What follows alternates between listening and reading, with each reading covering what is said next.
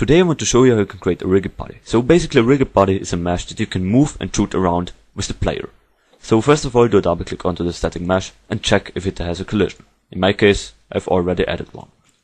Then place it to a level, scale it up or down, and go into the properties tab. In here scroll down a little bit and under the physics tab you have to choose simulate physics.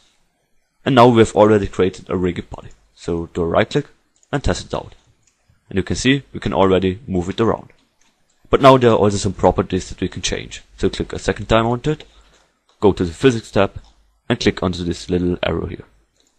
Now here you can either disable or enable the gravity. So in my case I will disable it now and this here will happen, which looks pretty cool in my opinion.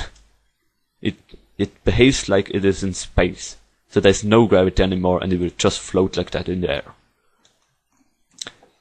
But I will just enable it now. Then down here at the mass scale, you can choose how how much weight it should have. For example, when type in 0 point, then we can easily move around. And you can see it already jumps around and it's not pretty realistic. And we can also change that to, for example, 10. Then it's pretty heavy and we can't move it around. Or just in a very small way. Then, down here, you can also choose how much it should go either in the angular damping or in the linear damping. Or how fast it should go there. So for example, when you type in 10 at the linear damping, it will move very slowly to the ground, as you can see here.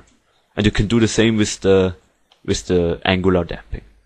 So there you can just play around with the settings to get a good result.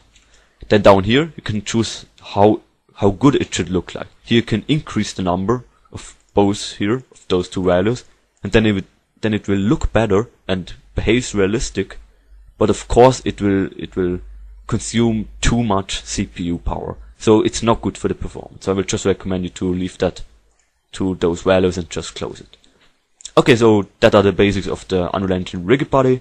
I hope you guys liked it, and until next time.